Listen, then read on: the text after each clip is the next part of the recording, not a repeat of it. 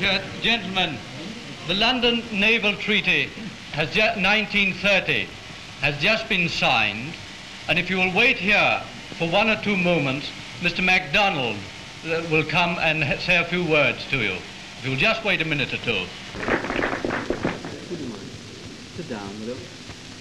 Well, um, my friends of the press, the uh, treaty has just been signed.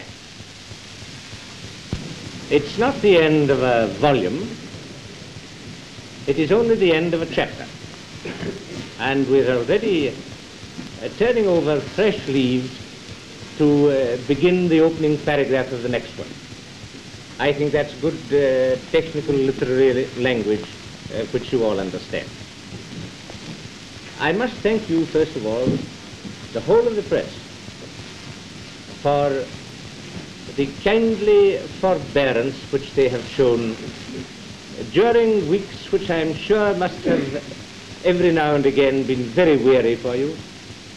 But uh, you have put public interest before everything else.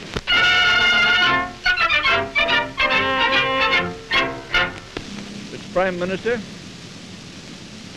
since that memorable meeting on the Rapidan, when you met with President Hoover and discussed with him the principles which have now been realized into the treaty that we signed this morning, all of us members of the American delegation have been looking forward to this moment.